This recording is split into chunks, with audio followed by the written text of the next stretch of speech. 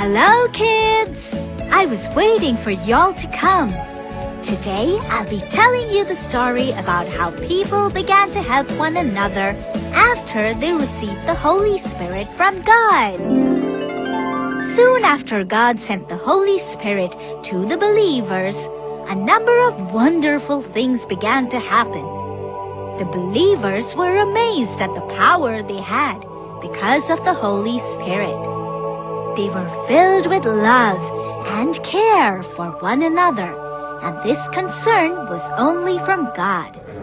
The believers met and gathered together constantly, and they enjoyed each other's company.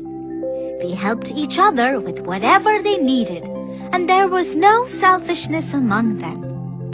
They shared everything they had food, clothing, and also money. Some of them even sold the lands they owned, their houses, and other material possessions. And with that money, they helped and shared it with those in the young church. Because of all their care and generosity, there was no one who was actually poor. The believers worshipped together at the temple every day, and not just once in a week. They met one another at each other's home and shared the Lord's Supper and meals too.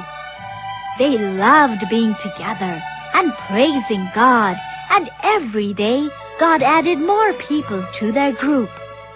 The young church was growing very quickly.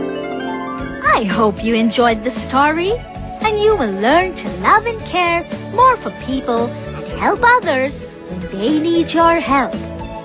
Yes, Holly, we will. I promise to love everyone around me and share my things with people when they need help. We will too. I know you are good children. Well, do you want me to ask you a question now? No, not today. Please, Holly, please. All right. I won't ask you any questions today since you promised to be good all your life. Yay! Come, kids. I have already decided on a story I'm going to tell you today. Yay! Let's not waste any more time. Go on with the story. All right. Right before Jesus went back to his home, to heaven, he had promised to the people that the Holy Spirit would come and give them immense power and strength to spread the message of God's love to the rest of the world. Then it was up to them if they wanted to come together or not. Jesus' believers came together for strength and to work as God's people, and that is how the young church was born.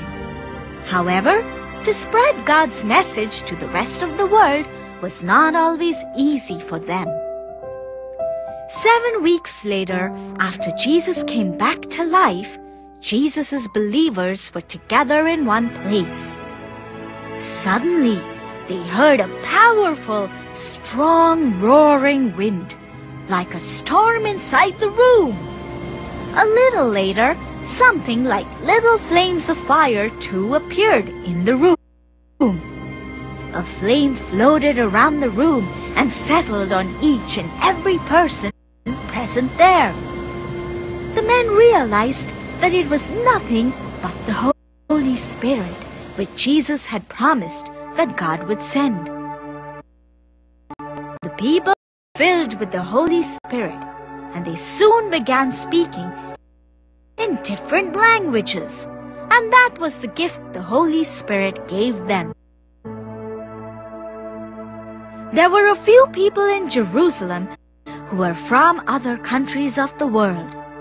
They came to know about the commotion among the believers, so they went to see what was going on. The people were amazed to hear their own language being spoken. People from Galilee. How is this happening? They asked one another. These people are from Galilee.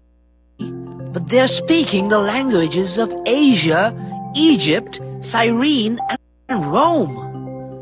They're saying wonderful things about God, and we can understand it.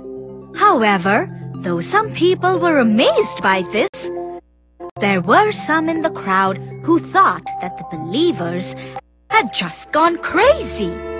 Peter stood up and the other disciples stood up with him.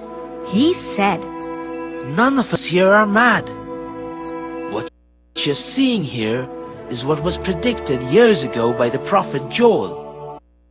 He had said, God says that in the last days I will pour out my spirit on the people.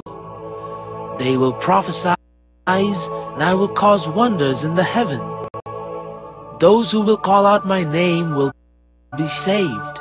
Peter continued, Listen to me carefully.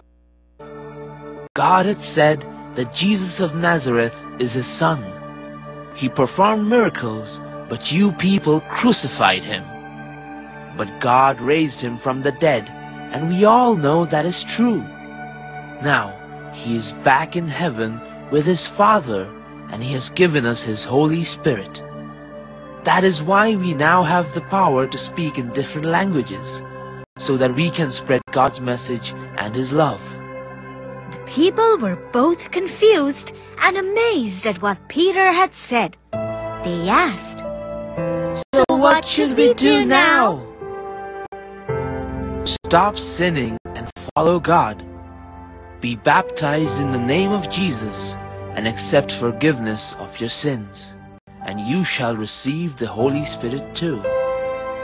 Many people believed what Peter said, and about 3,000 people were baptized and added to the young church on that very day. So, did you like the story? Oh, yes, absolutely. So, what is today's question?